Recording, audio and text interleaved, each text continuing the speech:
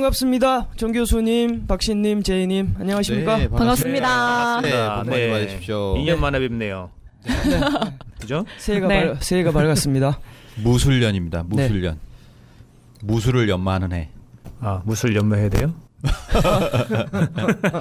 아, 진짜 아. 개그네요. 아. 개그도 좀 연마하시기를. 첫날 어떻게 보내셨습니까? 새해 첫날에 사실 뭐 해돋이? 해돋이를 가야 되지 않습니까? 네. 예. 갔다 몇 년째? 못 가고 있어요. 내년엔 꼭 도전해 보도록 음, 하겠습니다. 저는 해돋이를 갔다 보러 갈 오셨어요? 생각이 없습니다. 아? 애초부터 없습니다. 네. 아, 여기 해돋이 가는 사람 있어야 되는데. 예? 아, 교수님 안 갔다 오셨어요? 저는 해돋이를 볼 수가 없었어요. 왜요? 어, 이 갑자기 그이 참 조문 갈 일이 생겨가지고 아, 아. 아, 네, 연, 진짜요? 연 연말 그러니까 마지막 날을 조문을 가서 그 다음 날 새벽에 들어왔습니다. 음, 어. 장거리 원래 좀 갔다 왔죠. 겨울이 사실 2년 좀 걸렸어요. 생명이 좀 음. 위축되는 그런 해죠. 음, 춥죠? 예. 네. 장내가 음. 많아요. 네. 어른들 다치시면 또 예, 그렇죠. 음, 음. 뼈 부러집니다. 뼈 부러지면 어른들이 좀 힘들어하시죠. 네. 아, 갑자기 전문 말씀을 하셔가지고 네, 갑자기 급 다운되네요, 교수님. 아, 예. 무릎이 시려. 네. 네. 근데 어차피 이 삶이라는 건 죽음 속에서 삶이 있고 삶 아, 속에서 죽음이 있는. 것이니까 아, 역시. 뭐 교수님 이제 떠나실 준비를 미리 하시는가 보지? 아, 항상 이 신- 마음의 준비를 안 하고 있습니다. 심쿵한. 다행히 아직 준비를 안 하고 있어요. 네, 네. 저도 좀더 살아야 돼요. 그럼요. 그럼요. 네. 아직 뭐 좀 뭐 이룬 게 없잖아요. 아니 그렇게 얘기하면 너무하잖아. 10년부터 덕담도 아니고 이거 뭐. 예. 저 이따 끝나고 조용히 좀 봐요. 알겠습니다. 아, 제 손에는 지금 박씨님의 그 고서 구입 2탄 사략 맞습니까? 아, 사실은 사, 뭐이 뭡니까? 사, 네, 사략이라고 사략 적혀 있네요. 사략. 어. 예. 대강의 예. 어떤 역사를 다룬 건데 네. 사실 여기 뭐 태호 복희 씨, 네. 염재 신농 씨, 네. 뭐 이런 분들이 쭉 있는 걸 보고 제가 샀어요. 아, 네네. 어. 구매를 했는데 보니까 이것도 중국- 인터넷에서 구매하신 그렇죠. 거예요? 경매 오. 사이트에서 구매를 했는데 네. 중국 사더라고. 아, 나- 근데 이제 저 책이 네. 그 조선조 시대에 그 많이 읽혔던 책 중에 하나예요. 음. 아 그렇군요. 네. 그래서 그냥 제가 이렇게 보기에는 그 유년 시, 시절에 어떤 학생이 이거를 음. 이렇게 필사한 거 아닌가라는 생각이 들 정도로 굉장히 글씨체가 엉망진창인 것 같은데. 아니요, 아니 아니요? 정정 정 바르지 않아요? 당황했어요 갑자기. 그, 아니 어, 굉장히 비싼 책이에요. 네. 얼마? 네. 얼마예요? 이건 얼마? 네 이거요? 5만 원에서 어떻게 아, 됩니까? 20만 원 정도 생각하고 있습니다. 음. 다시 되팔 때. 살 때는 얼마? 살 때는 이제 살 때는 2만 원 정도? 네네. 문제는- 어, 진짜요? 네. 문제는 저게 세트로 돼 있어야 되는데 어, 초권만 가지고 있네요. 아 그래요? 네. 안타까워요. 이 아, 부분이- 역시 근데 교수님은 딱 보시니까 아시네. 네, 예. 글자가 써 있어요. 초권. 음, 아. 역사에 대한 어떤 욕망, 욕망. 계속되고 있어요. Desire. 예. 오케이. 역사서에 대한 네. 알겠습니다. 올해 뭔가 이룰 것 네. 같네요. 그래야죠. 이제 박신님도 뭐 하나 이뤄놔야죠. 예. 네. 어디 뭐 이루신 게 없잖아, 박신님. 아, 우리 박씨님이 그이 고서를 읽을 수 있는 그런 소양을 기를 수 있도록 제가 그 한문 잘하는 분을 소개시켜 드릴게요. 아이고 감사합니다. 예. 예, 열심히 배우세요. 제가 저번에 구매했던 비결서 아직도 해독을 못했어요.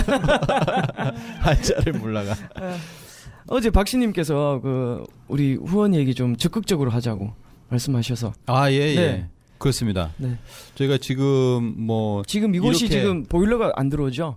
지금 장갑 끼고 모자 쓰고 귀마개 끼고 그렇게 녹음하고 있죠. 그런. 것보다는 전, 저희는 이제 뭔가 갈구하는 것이 이제 네. 역사 책 사실은 음. 많이 읽고 좀더 음. 다양한 어떤 음. 정보를 이렇게 알려드려야 되는데 책 구매도 굉장히 좀 많이 네네. 드는 것 같고 제가 고서를 구매. 꼭 구워서 사는 데는 후원금을 쓰지 않는 걸로. 아유 그럼요. 네네. 예, 예. 네. 진짜 뭐 우리 뭐 역사를 찾는 그런 네. 거면은 좀 네. 써주세요. 네, 알겠습니다. 자, 어, 저는 관계 없는 일이지만 어, 네. 여기 세 분께서 자료 수집하시고 하시는데 약간 어려움을 예. 겪고 계시다고 합니다. 어, 청취하시는 분들 뭐 소액이라도 아무 관계가 없으니까요. 많은 분들께서 예. 후원해 주시면은 아주 감사히 잘 어, 좋은 컨텐츠 만드는데 쓰도록 하겠습니다. 예, 올해는 후원부터 시작합니다. 받고 시작하겠습니다. 네. 알겠습니다. 자, 오늘의 주제는 삼한과 삼조선입니다. 이 삼한과 삼조선이라는 것은 우리나라 국호와 관련된 내용을 말씀해 주시는 건가요? 삼한과 삼조선 하면은 사실 뭐 두 다 합하면은 그냥 단군 조선을 칭하는 말이다 둘다 음, 네. 이렇게 얘기를 할 수 있는데요. 우리가 근데 삼한이라고 하면은 조금 왜곡되게 알고 있어요. 음. 고조선 이후에 뭐 이렇게 남쪽에 이렇게 모여가지고 올망졸망 있었던 만진한 변한 그렇죠. 이렇게 해서 저희도 국사 시간에 그렇게 네네 배웠죠. 그렇게 네. 배우고 있는데 과연 그 삼한이냐 음, 어, 삼한이란 뭐냐 음. 이것을 오늘 또 알아보는 시간을 가지고 또 삼한과 이후에 삼한이 삼조선으로 바뀝니다. 네.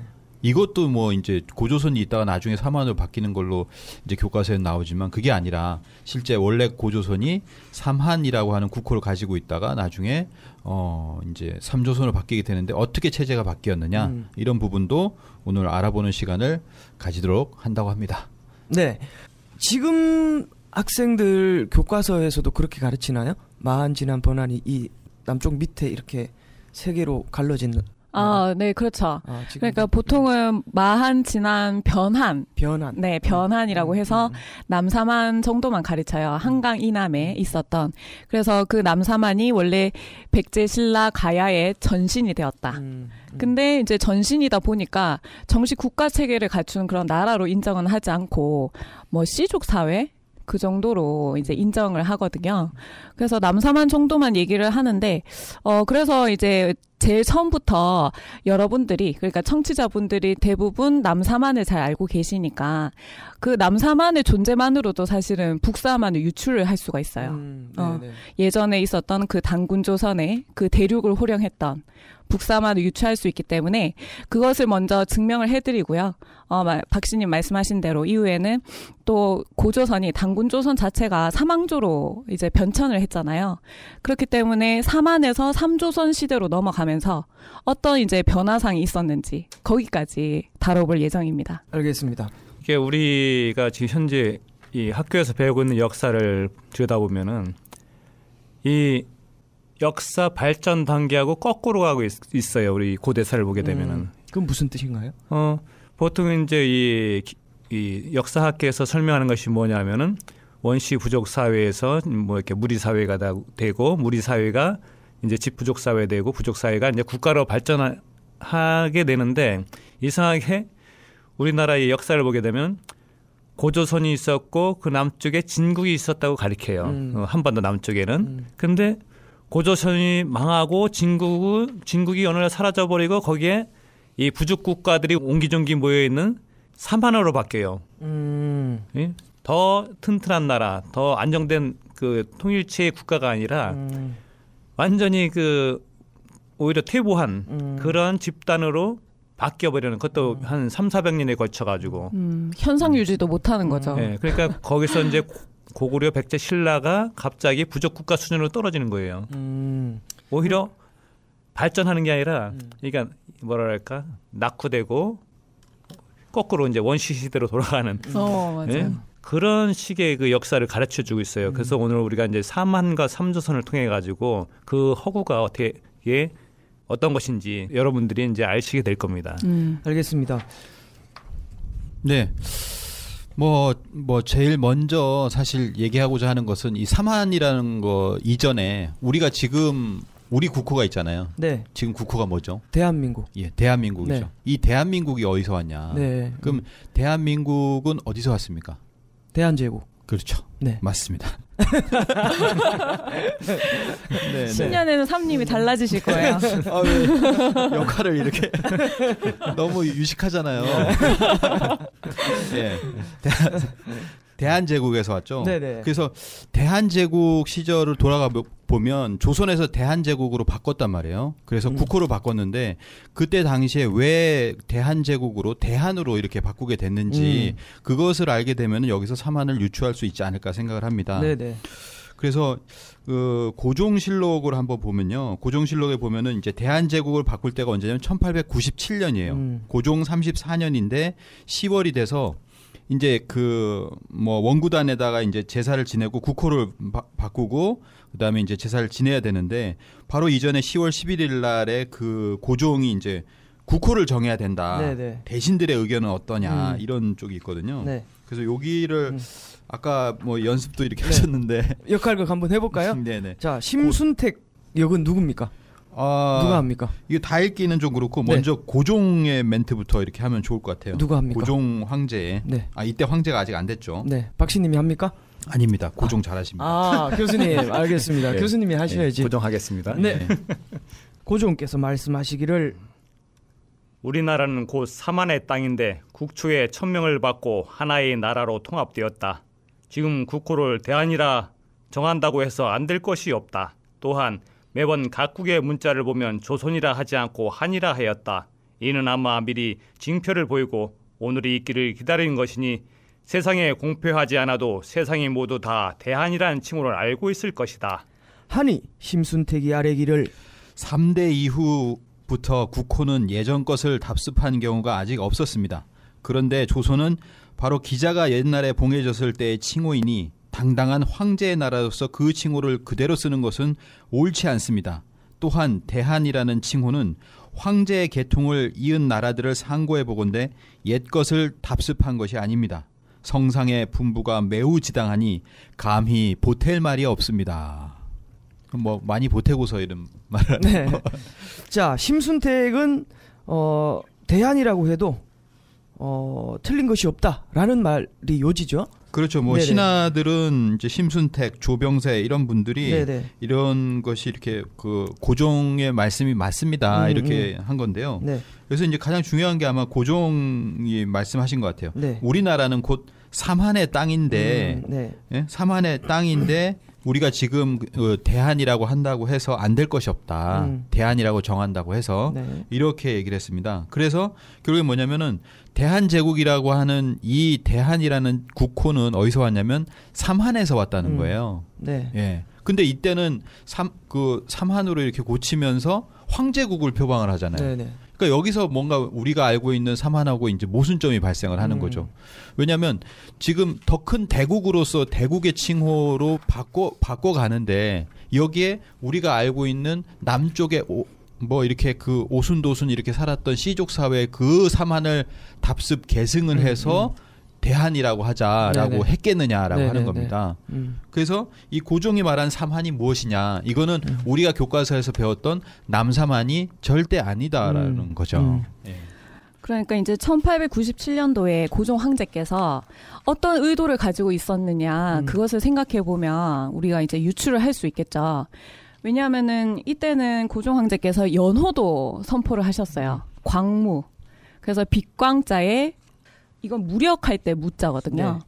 그래서 아무래도 뭐 빛으로서 어둠을 물리치는 그런 빛으로서 음. 그 음. 무력의 힘을 쓰자. 음. 뭐 환란을 제압하자 음. 뭐 이런 뜻도 동시에 이제 들어있지 않나 이런 생각이 드는데 연호도 새로 지정을 하시고 그리고 국호를 새롭게 제정을 하십니다. 네.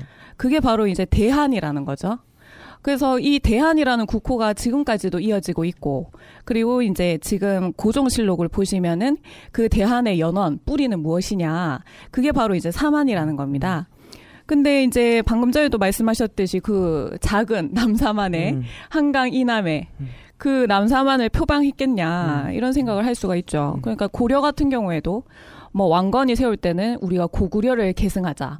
음. 이렇게 해가지고 고려라고 했고 또 이성계의 조선도 단군 조선을 우리가 이어받자 음. 이런 이제 큰 뜻을 품고 웅대한 그런 의지를 가지고 그렇게 한 거거든요 음. 국호를 제정했던 건데 그리고 이제 이 당시에 진짜 나라가 거의 망해가는 그런 이제 절체절명의 국난 위기 상황에서 고종 황제께서는 그 단군 조선의 사만을 얘기를 하신 거죠. 음. 음. 그리고 이제 이때 이렇게 연호도 제정하시고 국호를 제정하신 것 자체가 우리는 자주국이다. 그리고 우리는 진정한 이제 자주 독립국으로서 천자국으로서의 위상을 회복해야 된다. 이런 의도가 있으셨는 것을 이렇게 미뤄볼 때는 아 그렇게 남사만을 생각한다는 거는 음. 너무 이제 앞뒤가 안 맞는 음. 내용이죠. 그리고 음. 뭐그 조선왕조 실록에도 보면 삼한하면서요 사 사천리라는 말을 써요. 사천리? 고, 예, 고종 황제 때도 사천리.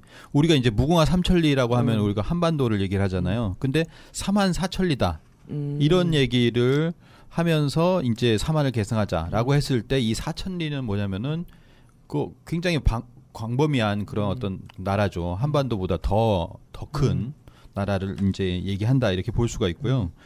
그 조선왕조 실록에 보면은 이 사만을 검색해 보면 600번 이상이 나옵니다. 누구든 뭐 지금 검색하실 수 있고 뭐쭉 보시면은 이거는 남쪽에 있는 뭐 사만을 얘기하는 것이 아니라 사만이라고 여기서 이제 보통 이 지금은 얘기하는 것은 뭐냐면 우리나라 자체를 뜻하는 걸로 볼 수 있습니다. 음. 사만의 강토를 바로잡을 것이다. 뭐 태조 이성계도 이렇게 얘기를 했고 사만의 백성들. 그러니까 조선의 백성들을 그냥 삼한의 백성들이라고 음, 또 음. 얘기를 하고 삼한을 보존하시옵소서. 뭐 이렇게 하고 음. 삼한을 통일했다. 이렇게 얘기를 하거든요. 그래서 뭐 고려의 태조가 삼한을 통일했다.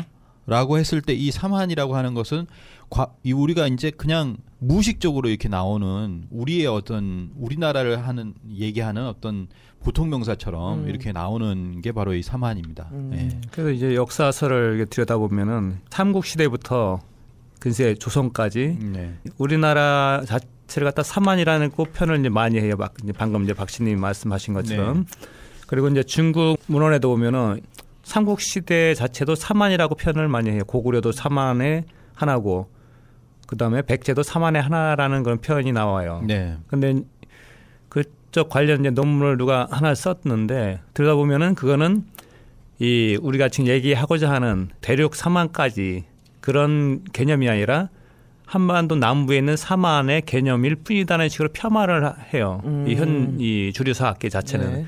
그러니까 뭐든지 이 사람들은 축소, 아, 그렇지, 축소시키고 한반도 안으로 가둬버리는 음. 그런 경향이 있는데 최치원 자체도 고구려를 마한이라고 표현을 했어요. 음, 고구려를. 예. 음. 그렇다면은 마한이 어디예요? 마한은 그냥 전라도 지역 얘기하잖아요. 지금 그렇죠. 기존, 지, 지금 어, 강단 우리가 사업에서는 얘기하는 이제 남사만에서의 마한. 그렇지. 네. 그러면은 고구려가 어떻게 마한이 될 수 있느냐? 음. 전혀 얘기가 될 수 없죠. 음. 이거는 대륙 사만, 그러니까 북사만이 아니고서는 해, 그 설명이 안. 설명이 안 되는 거죠. 음. 그런 것들이 사실 많이 있는 것 같습니다. 음. 또 하나는 뭐 이런 것도 있죠. 이제 삼국 사기에 보면 그 신라는 진한의 유민이다. 음. 뭐 나중에 나오겠지만 진한의 유민이다 이렇게 나오거든요. 유민이라고 하는 것은 어딘가에서 이렇게 들어온 거예요. 들어와서 지금 경주 땅, 뭐 경상도 땅으로 이렇게 들어온 건데, 그럼 어디서 들어왔냐면은 음. 그거는 어디서 흘러 들어왔냐? 바로 저 위에 대륙에서 위에서 이렇게 흘러 들어왔다는 거죠. 음. 그래서 진한 유밀이나 말 자체도 보면은 그거 자체가 뭔가 진한이 다른 데 있었다라고 하는 것을 음. 보여주는 것이다. 라고 얘기를 합니다. 뭐 단재 신채호 선생도 그렇게 얘기를 하고 있고요. 알겠습니다. 그러면은 우리가 지금 기존 학교에서 배웠던 사만이라는 것은 그 지금 한반도가 이렇게 38선이 있으면은 그보다도 못하죠? 사만이 있었다는 그 영토의 강역이 강력이 한강 이남이죠. 한강 이남. 예. 음, 그것보다 38선보다 못한 그렇죠. 그, 그 모퉁이에 이렇게 세 나라가 있어서 사만이라고 부른다 라고 알고 있지만 사실 그것으로는 여러 가지 문헌으로 볼 때는 설명될 수가 없다라는 것까지는 알았는데 그럼 실제 그 사만 아까 뭐 북사만 말씀도 하시고 뭐 진한 말씀도 하셨는데 실제 사만은 어느 정도의 규모를 가진 나라인가라는 거 한번 말씀을 해주셔야 될 것 같은데요. 네. 네. 사만이라는 것은 이제 당군 조선의 강력을 네. 셋으로 나누어서 다스렸다는 겁니다. 음. 그래서 석삼자에 네. 우리 이제 대한민국 할 때 한자죠. 어, 그래서 삼한, 삼한으로 세 강력으로 당군 조선을 나누어서 다스렸기 때문에 음. 국가 경영 원리, 통치 제도를 삼한 광경제라고 했어요. 음, 네네. 어, 그래서 이제 그 중심에는 이제 진안이 있었죠. 음. 어, 진안이 있었고 그 영토는 주로 이제 만주 지역이었습니다. 만주 쪽. 네, 만주 지역을 네. 이제 대당군이라고 하죠. 음, 음. 대당군이 진안을 통치를 하셨고 그리고 한반도 전체 지금의 대한민국 땅과 네. 그리고 이제 북한까지 다 합쳐서 네. 네. 한반도 전체를 마한 땅이었습니다. 음. 그리고 지금의 중국의 동부 지역 을 이제 번한이라고 했는데요. 음. 어 그러니까 이제 진안에는 대당군이 계셨으니까 번한 마한에는 각각 부당군을 두었어요. 음, 이렇게 셋으로 나누어서 다스렸는데 배달국을 그대로 이은 거죠. 음. 그러니까 배달국 때 우리가 이미 국가의 형태를 갖추었고 그 넓은 영토를 다 광활하게 통치를 하고 있었기 때문에 그것을 그대로 이어받아서는 통치제도라든지 그런 이제 국가 경영 원리가 더 세분화되고 치밀해진 겁니다. 음. 그런데 이제 뭐 저희가 다른 에피소드에서도 여러 차례 말씀을 드렸지만 이러한 사만의 원리는 사실은 이 하늘에는 삼신이 계시다. 음. 그런 이치나 그런 음 뭐라고 해야 될까요? 섭리, 뭐 우주의 이치, 섭리, 어떤 형이상학적인 개념을 진짜 나라를 통치하는데 음. 실제 적용을 한 거예요. 음, 정치 제도로서 적용을 했다. 네. 네네. 그래서 하늘의 원리를 음. 땅에서도 이제 적용을 한 거죠. 음, 음. 그렇기 때문에 이제 삼수에 정통했다 우리는 음. 삼수에 정통한 민족이다 뭐 이렇게 얘- 얘기를 하면서 갈발보도 항상 삼세판을 하고 네. 뭐 문을 두드릴 때도 한번 세 번을 두드리고 음. 어떤 이제 네, 뭐, 뭐, 무의식적으로 그런 이제 생활 문화들이 나타나는데요. 어, 실제 우리나라가 나라를 셋으로 나눠서 이제 다스렸던 것이 이제 바로 사만입니다. 음, 일단 영토 강역을 보면 그 한반도 귀퉁이에 뭐 이제 몰려 있던 것이 아니라 저쪽 만주, 요동, 네 한반도 전체까지 이르는 거대한 강역을 갖고 있었고 이때의 사만이 그러면은 아까 고종께서 사만의 그 뜻을 이렇게 이어받아서 대한이라고 장명을 하신 것은 할 때 이 사만은 지금의 그 사만이다. 그렇죠. 네네. 그뭐 이제 알았든 몰랐든 간에 네네. 그런 어떤 그 사만, 어떤 큰 사만을 가지고 얘기를 음. 하신 것이다. 음, 이렇게 볼 수가 있겠습니다.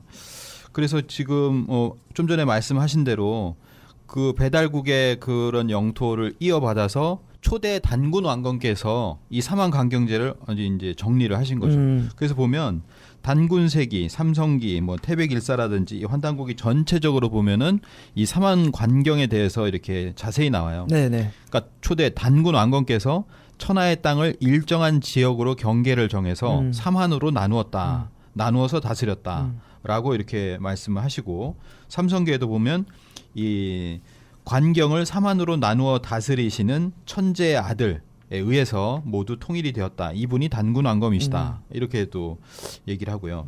태백일사 삼신 오제 본기에는 왕검께서는 이제 구한족을 통합하여 삼한으로 나누어 다스리셨다. 음. 뭐 이런 것이 보통 이렇게 대꾸로 나옵니다. 구한족을 통일하고 삼한으로 나누었다. 뭐 이런 것들이 나오고요. 그 다음에 이제 구체적으로 보면은 이제 태백일사 사망강경 본기에 보면요. 단군 왕건께서 천하를 평정하고 삼한으로 나누어 다스릴 때 웅백달을 마한 왕으로 임명하셨다. 예, 웅백달을 마한 왕으로 임명하셨다. 그 도읍을 달지국으로 정하였는데 백아강이라고도 불렀다. 이 백아강이 지금의 어떤 평양이고 이게 마한 땅이죠. 음. 그래서 아 마한 땅은 이때 어 마한 왕을 정하시고 거기에다 이렇게 어 그 수도를 정했구나라고 하는 것을 또이 문헌상으로 우리가 알 수가 있습니다. 음. 그런데 아까 그 교수님도 말씀하셨지만 역 그 국가 발전 단계에서도 사만을 남한 귀퉁이에 몰아놓으면은 발전 단계에서도 그게 퇴보하는 거고 또 여러 가지 뭐 고종께서 그 조그만한 뭔가 계승할 만한 거리가 있었기 때문에 사만의 뜻을 계승해서 대안이라고 하셨을 텐데 그런데 왜 지금 그 식민사학자들 어, 매국 사학자들은 왜 그 사만을 귀퉁이 이렇게 몰아서 넣은 거죠? 어, 왜냐하면은 음. 남사만 뿐만이 아니라 그들이 주장하는 뭐 기자조선이라든지 음, 음. 위만조선이라든지 한사군이라든지 전부 다 한반도 내에 비정을 하거든요. 어, 어, 어. 그러니까 한반도를 벗어나면 안 되는 거예요. 어. 솔직히 뭐 강단사학에서는 지금도 뭐 위만조선 같은 거는 정식 국가로 인정을 한단 말이에요. 당군 이후로. 네네. 당군 이후로 위만 조선이 있었다라고 얘기를 하는데 남사만은 지금 국가라고도 이제 인정을 안 하는 음. 단계예요. 음. 시족 부족 네네. 그런 이제 사회인데 그러니까 위만 조선도 한반도 내에 있었는데 음, 음. 어 사만이라고 막 음. 한반도를 벗어났다고 하면은 음, 음. 이거는 뭐 어느 나라 역사냐 이렇게 되는 음. 거죠 강단사학에서는 그럼 그러면 그 식민사학에서는 남쪽 귀퉁이에 있던 뭐 시족인지 부족인지가 만주로 올라가서 고구려를 세웠다 이렇게 되는 거예요? 그건 아니죠. 그건, 그건 아니 고. 아니고 아 왜냐면은 그런데- 그런데- 남사만은 어.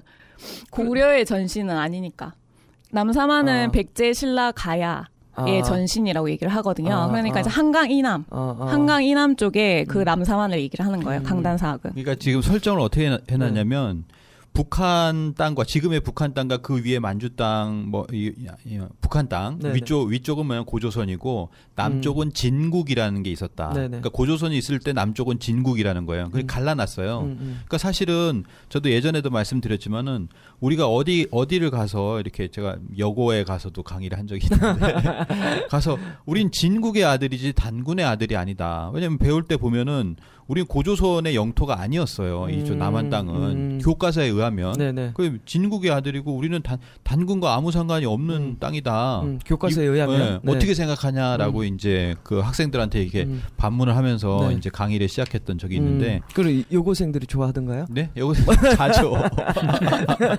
지금 사모님은 내용보다는 여고생에 관심이 아니 있으시네. 수험생들이 아니, 이제 어, 좀 피곤해요. 박, 재미- 박씨님이 재밌게 해주지 여고를. 말씀하시면서 네네네. 이제 싹 웃으시길래 네. 어. 저도 한번 예. 말씀을 드려봤습니다. 남고보다는 좀 선호하는 편입니다. 알겠습니다. 네. 네, 그렇게 했는데 이제 네. 일단은 진한에 대한 이해가 부족하고 음, 그렇기 음. 때문에 거의 진국이 거기 남쪽에 있었다 이런 식으로 이병도 박사 때부터 그렇게 변질이 됐어요. 음. 뒤에서 얘기를 하겠지만 네네. 그렇게 바뀌면서 거기에서 남쪽에서 진이 바뀌어서 삼한 마한진한 변환이 되었다 이런 식으로 얘기를 하기 때문에 거기서 음. 일단 고조선 영토도 확 축소가 돼요. 남한 땅에 비파형 동검 나오고 음. 고인돌 얼마나 많습니까? 네네. 수천 기기 이상이 음. 남쪽에서 나오잖아요. 아 만 기기 넘죠. 네. 그 그렇게 많은 고인돌과 비파형 동검도 가장 긴 거.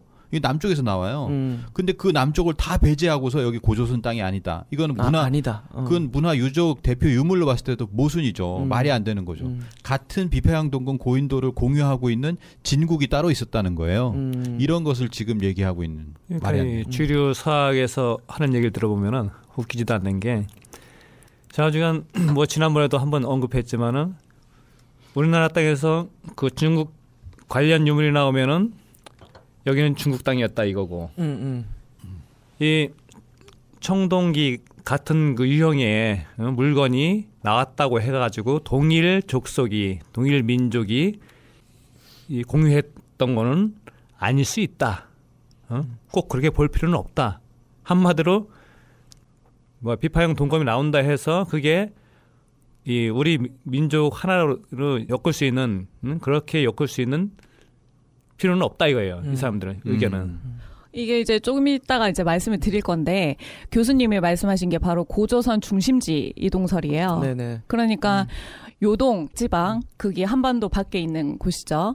거기서 비파형 동검이라든지 고인돌이 발견이 됩니다. 음, 음. 그리고 평양 부근에서도 비파형 동검이나 고인돌이 발견이 됐어요. 음, 그렇다면 정상적인 역사학자라면 우리나라 역사학자라면 아 고조선의 영역이 이렇게 광활했구나. 네네. 이 모든 음. 것을 다 통치를 하고 있었구나 음, 음. 이렇게 생각을 해야 되는데 아니 우리나라의 첫 나라인 고조선이 이렇게 넓었을 리 없다. 음, 음. 이렇게 해서는 요동 지방에 원래 중심지가 있었는데 음, 음. 나중에 평양으로 옮겼다. 음. 이런 이제 이동설을 만들어냅니다. 음, 음. 그러면서 하나의 영역이라고 하는 게 아니라 그렇죠. 같은 음. 유물이 이제 발견되고 음. 같은 유적지가 출토가 되면은.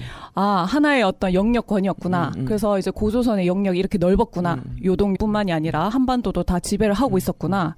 이렇게 규정을 해야 되는데 음, 참 희한한 걸 이렇게 창의적으로 만들어내죠. 네, 막 네. 중심지를 음. 이동했을 거야. 아니, 음. 그 정도는 애교를 봐줄 수 음. 있는데 어. 이 비파형 동검의 모양도 조금씩 차이가 있다. 음, 음, 그러니까 음. 저기 요소에 있는 그 비파형 동검하고 평양 지역에 있는 비파형 동검하고 이 한강 이남에 있는 비파형 동검이 이게 조금씩 그 모양의 차이가 있다. 그래서 음, 문화의 주, 그것을 영위한 주체가 다 다르다. 음, 심지어 이렇게 얘기를 해요. 음. 아 그거 보고 그래서, 이제 어. 저도 이제 욕이 나왔는데 사실은 지금 뭐 잠깐 나왔지만 요선은 교과서에서 아예 쳐주질 않아요. 음. 요선은 다른 어떤 뭐 오랑캐가 음. 있었다 이렇게 또 얘기를 하면서 음. 고조선의 영토에서 배제를 하고 음. 요동하고 평양 쪽 이렇게 해가지고 요동에서 좀 있다가 이제 평양으로 이동해서 여기서 망했다라고 하는 음. 중심지 이동설이 지금 이렇게 음. 어, 득세를 하고 음. 있는 거죠. 그러니까 이런 비유가 맞는지 모르겠는데 어 방이 한 방에 한 집에 방이 한 다섯 칸 있어. 큰 방, 작은 방, 뭐 서재, 뭐 애기 방, 뭐 이렇게 있는데 큰 방에서 뭐가 나왔다고 해야 되나? 뭐- 도둑이 들었나? 아니 큰 방에서 노란색 양말이 나오고 서재에서도 노란색 양말이 나왔어. 그런데 아 그럼 이게 같은 집에 이렇게 방이 따로 있구나라고 생각하는 게 아니라 좀 더 구체적으로 어. 해볼까요? 가족의 어. 이름이 새겨진 음, 음. 어, 노란색 양말이 어, 어, 다른 공간에서 이제 나온 거예요. 나왔어. 어. 그런데 큰 방에서도 나오고 작은 방에서도 나왔는데 이건 같은 집이 아니고 이 사람이 큰 방에서 살다가 작은 방으로 이사를 간 거다. 어, 어, 그쵸. 이렇게. 어. 어. 그러면서 이건, 그 음. 집에 또 다른 이름을 붙입니다. 음, 음. 뭐라고 했냐면 강단사학에서는 동이족의 문화 활동 영역이다. 음, 음. 그래서 그렇게는 한, 한꺼번에 음, 묶어요. 음, 음. 한꺼번에 묶었는데 고조선은 음. 중심지를 이동했다. 음. 이렇게 얘기를 하는 거죠. 그러면은 그 여러 가지로 하수구를 하고 있었구만. 하수구를 하고 있다가 영토를 축소할 수 있는 응. 여러 가지 용어들을 많이 쓰는 거예요. 음. 그 중에 하나가 좀 전에 말씀하셨던 음. 문화범위라고 하는 네네. 건데 이거는 영토라든지 강역이라는 말을 쓰지 않아요. 음. 문화범위이기 때문에 그건 음. 이거 문화로서는 충분히 이 정도까지는 음. 뭐 향유했었어라고 하지만 그거 자체가 영토라는 말은 아니다라고 이렇게 발뺌할 수 있는 여지를 주는 게 바로 음. 이 문화범위라는 또 용어고 그 최근에 보면 또 백제 같은 경우에는 대륙 백제라고 뭐뭐 요소 진평이다 그러면은 예전에는 이제 진출했다 음. 요거까지 썼었는데 최근에는 교류로 또 바꿨거든요. 음. 이 용어 자체를 하나 한 단계씩 뒤로 이렇게 축소를 시키는 음. 것이 이렇게 보여지고 있어요. 음. 예. 아니 그러면 지금 한국에서도 방탄소년단 CD가 나오고 중국에서도 방탄 CD가 나와서 같은 나라는 아니지 않냐. 그렇지만 한류는 공유한다. 그런 건가? 그거 비슷하다고 봐야겠죠. 이, 이, 이 비유는 그 문화 범위를 옹호하는 비유인가? 그러니까 이게 뭐냐면 편집할 때 잘해. 아니 요즘하고 좀 비교하기가 좀 어려운 것 같아. 어, 요즘에는 네네. 음. 이게 뭐 이렇게 뮤직비디오 하나 빵 뜨면 유튜브 뻥 뜨면은 200개 나라에 불이 켜져요. 음, 음. 불이 켜진다는 건 아시겠지만 이렇게 한, 거의 동시에 보잖아요. 그렇지. 이렇게 어. 동시에 보고 음. 뭐 이렇게 그런 거하고 좀 비교하기는 굉장히 조금 약간 뭐 어, 어려운 음. 그런 시기였다. 오케이. 쓸데없는 쓸데없는. 그러니까 이게 지금 얼마나 심각하냐면은 우리가 이제 지난 시간에도 한번 이제 언급했었지만은 이 고대 사학계에서는 고조선은 지우기를 하고 있다 그런 얘기를 한번 한적 있죠 우리가. 네.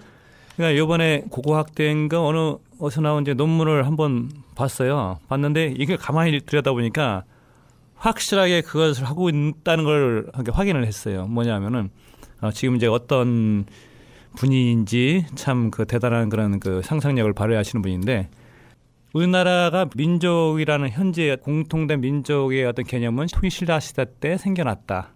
라고 주장을 합니까? 그렇죠. 그 음. 전에는 공통된 민족 의식을 가졌다고 볼 수가 없다. 음. 그건 뭐예요? 결국은 제야 사학이라든가 민족 사학에서 주장하는 것을 완전히 무마 무위로 만들어 버리려고 하는 하나의 출책이기도 하고 자기 자신들이 고대 식민사학이라는 그 것을 그런 식으로 이제 빠져나가려고 하는 것도 있고 한마디로 어, 반민족적 반역사적 연구를 하고 있다 음. 하는 것을 확실히 알게 됐습니다. 음. 다음에 꼭 정확하게 음. 더 밝혀주시기 바랍니다. 네, 아, 심각하네요. 심각해요. 근데 그렇게 되면 그 전제라면 그러면은 고구려- 고구려도 우리 민족이 아니었다? 그러니까 우- 굳이 꼭 민족 우리 민족의 어떤 그 조건으로서의 하나의 일뿐이지 음. 그 자체가 주류가 될 수 없다. 주류가 될 수 없다. 그러니까 어려운 말을 쓰는 거예요. 말은 아 정말 참. 그러니까 조건이란 표현을 써가면서 청동기 시대의 민족 구성은 다양했고 그렇기 때문에 그 당시 그 전체를 아우를 수 있는 그런 조건이라고 할 수 없, 그 음. 동일한 조건이라 볼 수 없다. 그러니까 지금 조건이라는 어. 게 지금 조건. 족. 족원 족원이 뭐야? 아, 그러니까 우리가 이제 무슨 족속 무슨 족속 가지고 아, 어, 그러니까 뭐 음, 뭐야 흉노족 족원. 아니면 어. 뭐 동호족 뭐 이런 식으로 막. 선비적 이렇게 얘기하잖아요. 그, 그, 족. 그것도 그것도 그 사람이 만. 만들어낸 말입니까? 족원? 족 원은 족속의 근원, 음, 뿌리 음, 뭐 그런 원래 있던 말이에요. 어, 있어요. 아. 쓰는데 자주 저기 뭐야 학, 아. 학문적 용어라. 아, 요거 한번 그러니까 이제- 그랬는데. 네. killing point를 이제 민족으로 삼는 거죠. 음, 에이, 어. killing point. 그렇죠. 음. 그러니까 그 적어도 단군 조선 시대 때는 하나의 어떤 민족이라는 개념이 있을 수가 없다. 그러니까 한마디로 단군 조선은 그래서 허구다. 음. 결론은 그거예요. 음. 결국 그 환국, 배달, 고조선 이렇게 쭉 해서 그 말 그대로 국통 맥을 나라의 맥을 타고 쭉 온 것이 아니라 통일신라 이전에는 우리 민족의 근원이라고 볼 수가 없다. 그렇죠. 민족이라는 개념 뭐 애매모호하다라는 그렇죠. 거 하면서 물타기 하는 거죠. 그런 거죠. 그렇죠. 이런 민족 어. 저런 민족이 와서 섞여가지고 어, 어. 그 다음에 어. 통일신라 시대 어. 때 와서 비로소 통일됨으로 인해 가지고 현재 우리 민족의 그 기본이 형성됐다. 이제 그런 얘기죠. 아까 이제 삼신 사상도 얘기를 하셨지만은 이게 우리 민족의 철학이 뭔지도 모르는 사람들이에요. 음, 음, 음. 그 철학을 통해 가지고 단군 조선도 셋으로 나누어서 이렇게 다스렸다라고 하는데 아까 얘기했잖아요. 우리는 하나 모든 게 다 셋이다. 뭐 이렇게 우리가 최근에도 뭐 제사를 지내지만 초헌, 아헌, 종헌 세 번을 지낸단 말이에요. 그걸 지내는 지내는 걸 내가 잠시 봤는데요. 그 보면은 예전에는 다 삼족이었어요. 네, 네. 삼족으로 된 그 그릇을 제기를 이렇게 쓰고 했었던 것들. 그러니까 대부분 모든 게다 셋으로 돼 있어요. 우리 음. 지금도 보면 아시잖아요. 이렇게 세 번 돌리잖아요. 술잔을 세 번 돌리고 네, 향. 네, 네. 향도 뭐 이렇게 세 번 하고 뭐 음. 그런 것들을 모두 보면 그게 왜 습성이 그렇게 나 왔냐? 음. 우리가 그런 어떤 삼신 사상을 가지고 있었기 때문이고요. 그거 그 삼신의 우주관을 가지고서 단군 조선을 셋으로 다스렸다는 거예요. 그걸 음. 구체적으로 얘기하신 분이 누구냐면 단재 신채호 선생입니다. 음. 그 단재 신채호 선생이 뭐라고 얘기를 하시냐면 그 마한, 변한, 진한인데 이걸 또 이제 말한, 불한, 신한은 삼신에 근원한 것인데 뜻으로는 천일, 지일, 태일이 되고 음으로는 마한, 진한, 변한이 되는 것이다. 이 조선 상고사에 나오는 말이고 사기의 봉선서에 이르면 삼일신이라고 해서 천일, 지일, 태일인데 음. 그 중에서 태일이 가장 존귀하다라고 음. 했습니다. 그래서 이 진한의 대단군께서 태일의 자리에 계신 거예요. 진한의 대다, 대단군이 태일의 자리에 계시고 마한이 천일, 그 다음에 어, 번한이 지일에 해당이 이렇게 되는 겁니다. 뭐 이런 것도 뭐 아시면 좋을 것 같다는 생각이 들고 그래서 다- 단재 신채호 선생은 뭐라고 그랬냐면 동 그 대단군을 갖다가 어, 동황태일이라고 얘기를 했어요. 음. 동황태일. 네, 네. 동쪽의 황제 테일이다 음. 이렇게 얘기를 했습니다. 이건 뭐 동황테일이란 말 자체는 여러 가지 뜻이 있을 수 있겠지만은 신채호 선생은 뭐라고 했냐면 조선상고사에서 초사에 보면 동황테일이라고 나오는데 이 동황테일은 곧 단군 왕검을 제사하는 풍속이 호북, 절강 등지에 많이 유행한 것이다. 음. 이렇게 말씀을 하셨어요. 음. 그러니까 다- 신채호 선생은 단군왕검을 동황테일이라고 한 거예요. 단군왕검이 다스리던 그 진한의 진한이 테일의 정신을 가지고 있었기 때문에 거기를 이제 동황테일이라고 한 거죠. 이걸 봤었을 때도 우리가 이제 아 여기는 어, 삼신의 사상을 가지고서 삼한 강경으로 셋으로 나누어서 다스렸구나라고 하는 것을 알 수가 있죠. 음. 이런 국가 경영 원리를 통해서 이런 것들은 이제 드러나는 거잖아요. 정치 제도라든지. 근데 이런 드러나는 것을 왜 이렇게 했냐, 이렇게 파고 들어가 보니까 드러나지 않은 그런 원리, 우주의 원리라든지, 그리고 그때 문화가 이제 신교 문화라고 하는데, 신교 문화의 우주론을 바탕으로 한 거예요. 이때의 사람들은 이 세상을 어떻게 바라봤냐. 딱 보니까 그것을 이제 천지인으로 바라봤다는 거죠. 음. 하늘, 땅, 인간. 네. 그러니까 더도 말고 덜도 말고 딱 천지인이면 모든 걸 다 포괄한다는 거예요. 음. 이 천지인 사상은 사실은 한민족의 최초 경전이라고도 알려져 있는 천부경에 나오거든요. 이 천일, 지일, 태일 이 사상이 천부경에 그대로 들어 있어요. 음. 하늘과 땅과 인간은 모두 하나에서 나왔다. 음. 그러니까 이 놀랍고도 사실은 단순한 원리죠.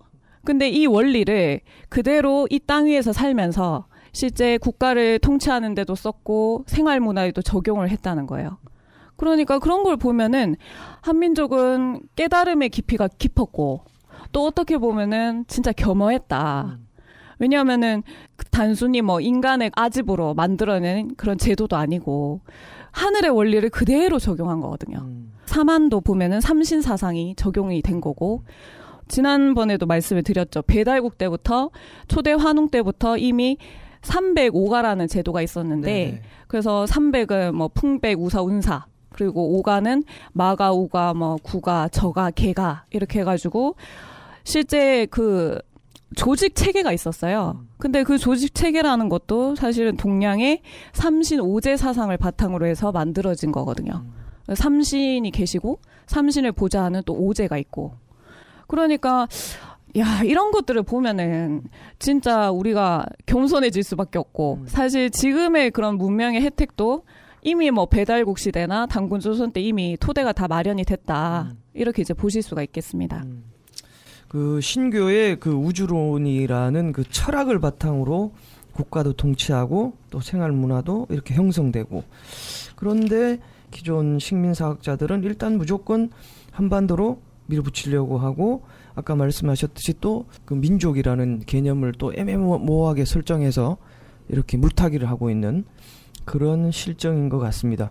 그 우리 그 게시판에도 보면은 민족이라는 개념을 조금 더 정확히 이제 짚고 넘어가야지 저희들이 말하고 있는 것에 대해서 조금 신빙성도 신뢰도도 올- 높아지고 또 거부감도 이제 사라지는 것 질 것 같다. 그래서 이런 민족에 대한 개념이라든지 어, 관련된 내용들도 좀 짚어주면 좋겠다라는 분 계셨거든요.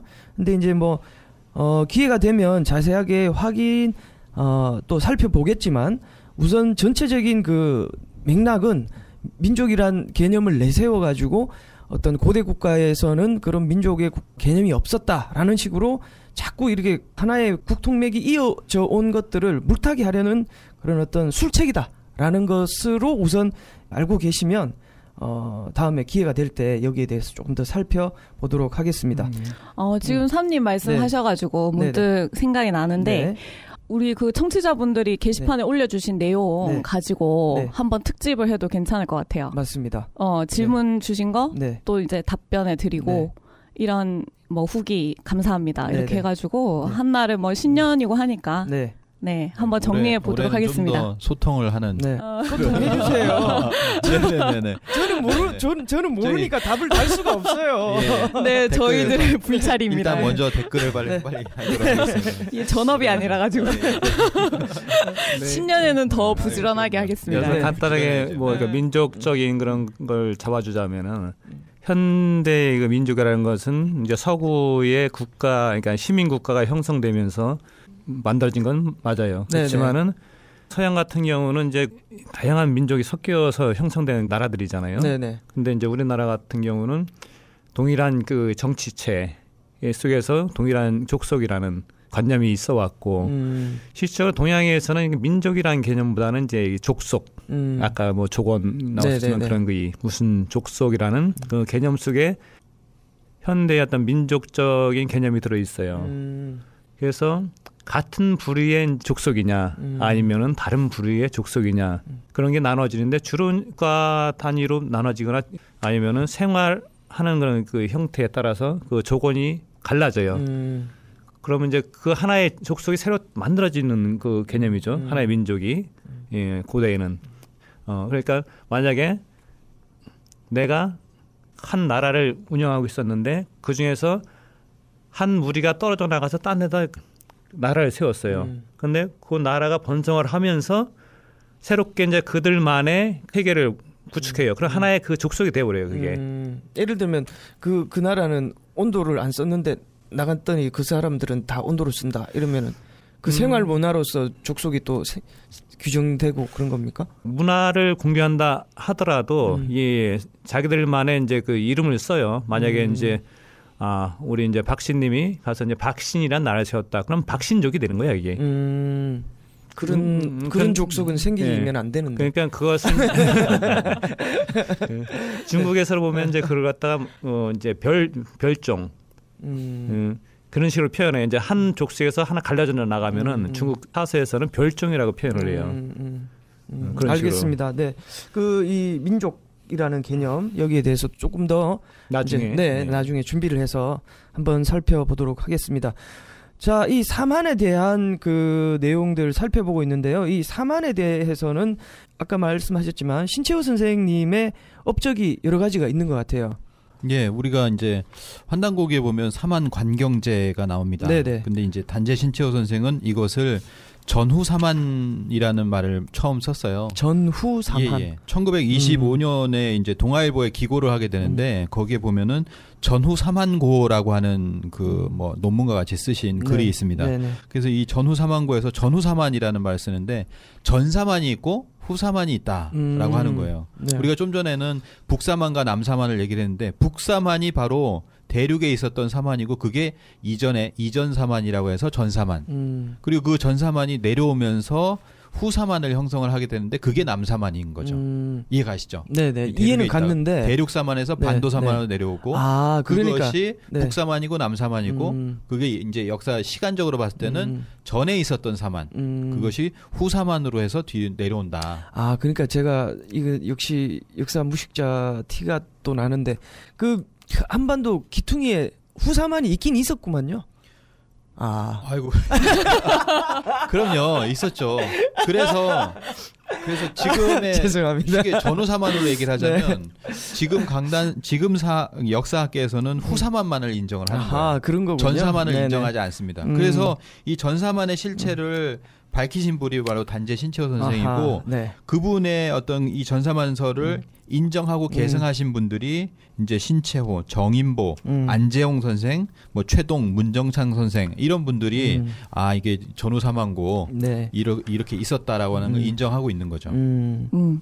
음. 그러니까 사실은 남사만의 존재만으로도 북사만을 이제 증명할 수가 있어요. 음. 예, 증명할 수가 있는데 네. 그건 좀 이따 말씀드리고 네.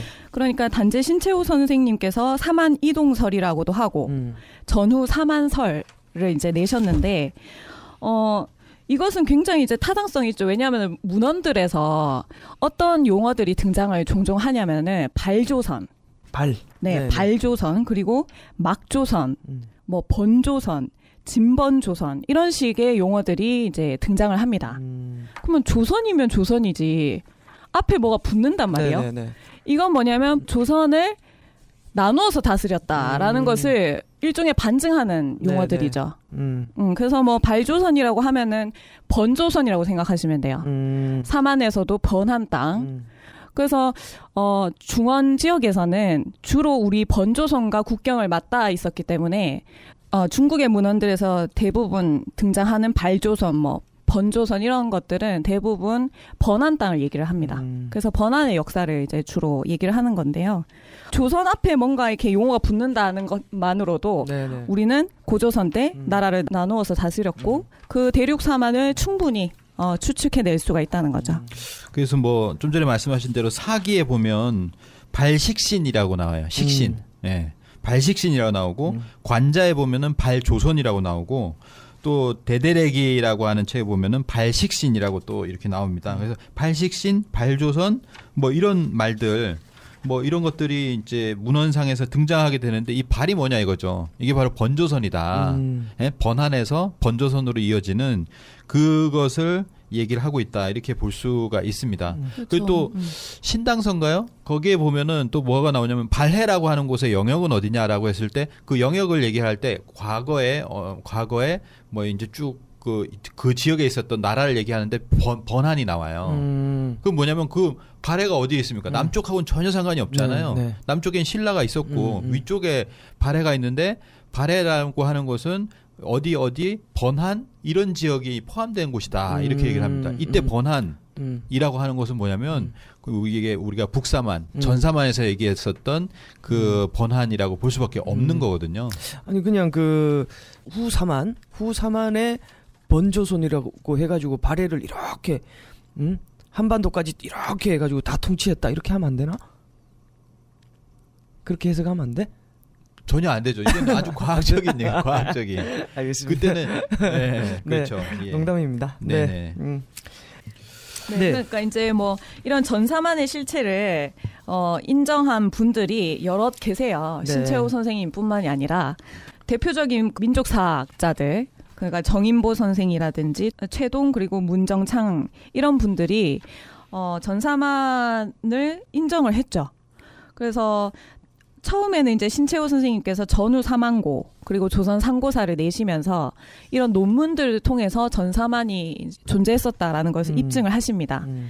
그리고 나서 이제 정인보 선생도 조선사 연구라든지 뭐 안재홍 선생의 조선 상고 사감 이런 것들을 통해서 계속해서 재화사학자들의 그런 지지를 받게 되죠. 음. 그 전후 상황고를 조금 더 말씀을 드리면요. 이게 이제 1924년 10월 13일부터 1925년 3월 16일까지 동아일보에 역사글을 단재 선생이 연재를 합니다.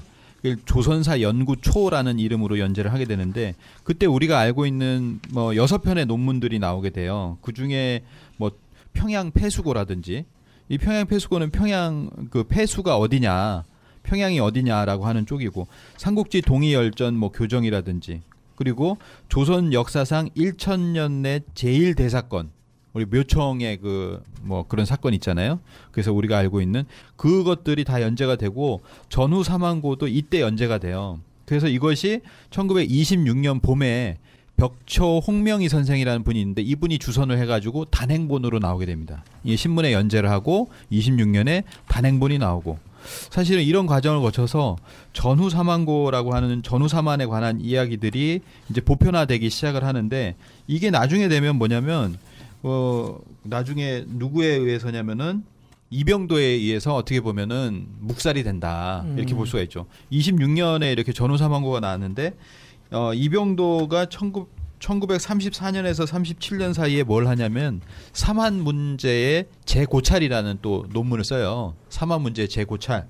그래서 이런 연구를 어, 그 사만 문제에 대해서 이병도가 연구를 하게 되는데 물론 이병도가 썼으니까 이거는 남사만만 관련된 그런 이야기죠. 그래서 이걸 통해 가지고 사만 이동설 전, 전후 사만설은 무시되어졌고 해방 이후에 이병도가 자리를 잡으면서 이제 사만이 이제 후사만 남사만을 위주로 하는 어떤 역사가 그냥 쭉 이렇게 지금까지 이어져 왔다 이렇게 볼 수 있겠죠. 음, 그러니까 이제 배국사학, 식민사학이라는 말을 안 붙일 수가 없는 거고요. 네. 네. 남사만은 결국에는 어, 고조선과 연관이 있어요. 왜 그러냐면 당군 조선이 이렇게 진한 번한 마한으로 대륙 조선으로 이렇게 통치를 하다가 어, 당군 조선 말기에 나라가 이제 어수선해집니다. 사실은 마지막 당군께서 왕자를 그냥 버리고 떠나시거든요. 음, 더 이상 이제 가망이 없다. 음, 이 나라는 이제 더 이상 이제 회복 불능이다 이렇게 판단을 내리셨던 것 같아요. 그래서 고열가 당군을 보통은 산 산으로 들어가서 신선이 되셨다라고 음. 얘기를 하거든요. 절에 가보시면 항상 말씀드렸지만 거기 삼신각이죠. 음. 삼신각에 항상 호, 산, 산신각. 아 산신각 네. 산신각에 가보시면 항상 호랑이를 이렇게 대동하고 음, 음, 있는 음. 그런 신선의 모습 네네. 그게 이제 고열가 당군이다 음. 이런 얘기가 많은데 음. 어, 이제 대당군이 떠나셨으니까 결국에는 오가가, 그 음. 밑에 이제 오가가 있었잖아요. 오가가 이제 공화정 체제로 음, 나라를 다스리지만 역시나 중심 자리가 흔들리니까 나라 전체는 흔들릴 수밖에 없습니다. 그래가지고는 그 위에 있던 진안이나 뭐 번안에 있던 그런 이제 고조선의 백성들이 결국에는 이 한강 이남 땅으로 망명을 와요. 음, 망명을 와서 그래서 이제 그 한강 이남 쪽으로 고조선 유민들이 와서 세운 게 바로 이제 남사만입니다. 음, 그러니까 이제 당군 조선과도 연관이 되어 있죠. 연관이 되어 있는데 이런 이제 연관성을 이제 밝혀내야 된다는 거죠. 남사만과 북사만의 연관성. 학계에서는 인정하고 있는 것은 남사만 뿐이고 만약에 이제 삼조선이라고 얘기를 하잖아요. 삼조선이라고 얘기를 꺼내면 뭐라고 얘기를 하냐면 당군조선 그리고 기자조선, 위만조선을 얘기합니다. 음. 그러니까 이거는 이거는 뭘 해도 이게 안 맞는 거예요 음, 아구가. 음. 근데 이 남사만도 보시면은 한강 이 남이 얼마나 좁아요. 네네. 지금 38선보다도 좁거든요. 네네네. 근데 이 좁은 땅덩어리에 총 나라가 몇 개 있었냐면 음. 78개가 있었습니다. 음, 78개의 망명국이 있었던 거예요. 음, 그러니까 이렇게 좁은 땅덩어리에 나라를 그렇게 세웠다는 게 말이 안 되지 않습니까? 음, 그래서 우리도 이제 뭐 일제시대 때는 저기 이제 넘어가서 음. 우리가 이제 넘어가서 임시정부 건물 하나 세워놓고는 여기가 대한민국 임시정부다. 네네. 이렇게 이제 선포를 했듯이 음. 고조선의 유민들이 전부 다 사실은 대륙조선 시절에는 마한 땅이죠 한반도가. 음, 그 마한 땅으로 들어와 가지고는 각자 자리를 잡고는 그냥 나라라고 했던 거예요. 음, 음, 나라라고 했는데 마한에는 총 54개국 음, 그리고 진안에는 12국 그리고 변안에 12국이 있었습니다. 음. 그러니까 이거는 78개의 나라가 있었다는 것만 보더라도 아 망명을 했구나라는 음, 것을 충분히 유추를 할 수가 있는 거죠. 음. 그 아까 전에도 이제 박씨님이 살짝 언급을 하셨는데 통전에는 조선의 유민이라는 표현이 분명히 등장을 합니다. 아, 네. 네. 그러니까 조선에서 망명을 왔다는 거죠. 음. 떠나왔다. 음. 그런 이제 백성들이 자리를 잡았다라고 얘기를 하는 거고 삼국 유사에도 78개국을 얘기를 해요. 그래서 삼국 유사에서는 고조선조가 있는 것처럼 72국조가 있는데 대부분의 이제 설이 뭐냐면 이자가 어, 한자 이자가 사실은 한자 팔자의 그 오자다. 아하. 어, 이런 얘기가 있어요. 아, 왜냐하면은 본문 내용에서는 78개국을 다 얘기를 하거든요. 음. 그래서 이련 스님이 뭐 마한에 54개국, 뭐 지난해는 몇 개국, 어, 변한에는 12국, 뭐 이런 식으로 얘기를 한단 말이에요. 그래서 이런 이제 기본적인 문헌만 보더라도 어, 이 망명국이다라는 것을 알 수가 있고요. 또 두 번째는 뭐냐면 지금 대륙조선에 있다는 사람들이 마한 땅으로 들어왔잖아요. 네. 그러면은 아무래도 이 영토가 마한 영토였으니까 마한이 중심이 될 거 아니에요. 음, 음, 남사만을 총괄하던 그런 마한 왕을 뭐라고 불렀냐면 진왕이라고 불렀어요. 음. 그러니까 대륙조선에서 진안이 중심이었기 때문에 그 전통을 그대로 가지고 온 거예요. 마한 땅으로 다 몰려왔음에도 음, 그럼에도 마한 왕이라고 하지 않고 진왕이라고 불렀다는 거죠. 음, 이런 것만 보더라도 충분히 단군 조선 이후에 그런 남사만의 역사를 음. 우리가 다시 복원할 수가 있고 음. 북사만까지 들어갈 수가 있다는 거죠. 그 뭐 좀 전에 말씀하신 거에서 한 70 몇 개국이 나왔는데 그거 이제 전후 사망고의 이제 힌트를 이제 단재 신채호 선생이 줬던 전후 사망고라고 하는 그걸 쓸 수 있도록 줬던 문헌 중에 하나가 뭐냐면은 고려사입니다. 음. 고려사의 김희재 전이라고 있어요. 이 김희재라고 하는 뭐 풍수도 잘 알고 하는 어떤 술수가가 있었어요. 음. 이제 고려 시대에 그때가 언제냐면 고려사에 보면은 제 23세 고종 때라고 얘기를 하는데요. 그때 이 술수가 나와서 평양 천도를 주장을 하는 상소문을 올립니다. 그 상소문에 보면은 뭐가 나오냐면 바로 이 그 단군 조선 시대의 어떤 그 제도를 얘기를 하는 거예요. 제도를 얘기를 하는데 뭐라고 나오냐면 그때 당시에는 저울추, 저울 접시 이렇게 저울추, 저울 접시, 저울판, 아 저울대 이렇게 셋으로 어 셋으로 나누어서 어 셋으로 나누었기 때문에 균형이 맞았습니다. 그때 당시에는 단군 조선 때는 그렇기 때문에 이렇게 셋으로 나누어서 도읍을 정하니까 70개 나라가 항복하였습니다. 이렇게 음. 얘기를 하는 거예요. 좀 전에 78개의 마한진한 변환이라고 얘기를 했잖아요. 네네. 그거 그런 어떤 남사만에 있었 어, 남사만에 있던 78개 국가가 오밀조밀한 것은 사실은 이 세계의 어떤 균형을 맞추고 뭐 이런 개념 자체가 없어요. 음. 그러니까 저 대륙으로부터 해서 이 한반도까지를 전체를 다스리려고 하니까 이 셋의 균형을 맞춰야 되겠다라고 하면서 이제 그걸 얘기를 한 거예요. 저울 때는 뭐 부소다. 이 저울과 저, 어, 저울추와 저울 접시에 이렇게 비유를 하자면 저울 때는 부소고 저울추는 오덕지고 그리고 저울의 머리는 백아강이다. 이렇게 해서 예전에는 정했기 때문에 이런 덕에 힘입어서 이렇게 오래도록 이렇게 유지를 할 수 있었습니다. 그렇기 때문에 이 고려라고 하는 곳도 지금 수도가 두 곳인데 세 곳의 땅으로 해야지만이 이렇게 왕업이 길게 나갈 수 있다. 이런 얘기를 하게 됩니다. 그러면서 한 곳을 더 정해야 된다. 이래서 뭐가 나오냐면 고려의 삼경 제도가 나와요. 고려의 삼경 제도가. 그러니까 고려가 고려도 보면 수도를 셋으로 이렇게 두려고 했었다라고 하는 거예요. 음. 그 원래는 중경하고 서경이 있었어요. 근데 남경이라는 것이 없었어요. 근데 남경을 만들자라고 했던 게 김희재가 이렇게 얘기를 했고 그래서 고려의 숙종이 이때부터 막 살펴본 겁니다. 남쪽에 어디 어디다 이렇게 하면 좋을까 라고 이렇게 살펴본 거거든요. 그래서 그 남경을 어디다 사실 만드냐면 이 남경이 어디냐면은 지금의 한강의 북쪽이에요. 음. 한강의 북쪽에 청와대 땅. 청와대? 네, 아. 청와대 땅 그쪽입니다. 그쪽에다가 남경을 만들었는데 천도를 하진 않아요. 음. 왜냐하면 김희재도 얘기를 했지만 이것을 3분의 1로 나눠서 3분의 1은 저 서경에 그리고 저 중경에 그 다음에 남경에도 한 그 정도 머무시면 됩니다. 음. 라고 이렇게 얘기를 하거든요. 음. 그렇게 이제 이동을 하면서 머무시면 됩니다. 이렇게 얘기를 하기 때문에 거기를 완전히 수, 그 수도로 이렇게 삼진 않지만 세 곳을 만들어야 됐다는 거죠. 그러니까 고려의 삼경제도라고 하는 것이 어디서 왔냐? 고조선이 셋으로 나누어서 다스렸던 그 제도에서 이렇게 음. 차용을 했다는 거예요. 음. 그대로. 그런데 이게 이게 제가 지금 자료를 보면 이게 그 저울대, 저울추, 저울판 이게 한마디로 이제 삼한 관경이잖아요. 이것 이게 근데 지리적으로 이렇게 지리적으로 삼각 안정된 그 자료를 보면 이렇게 삼각형의 모, 모양이 되어 있으면서 균형을 맞추고 있는 건가요? 아니면 이게 그냥 어떤 아까 얘기했던 그 철학적인 그 삼, 삼수의 원리라는 이 철학적인 의미인가요? 아니면은 지리의 의미인가요? 아니면 두 개 다 의미가 있는 건가요?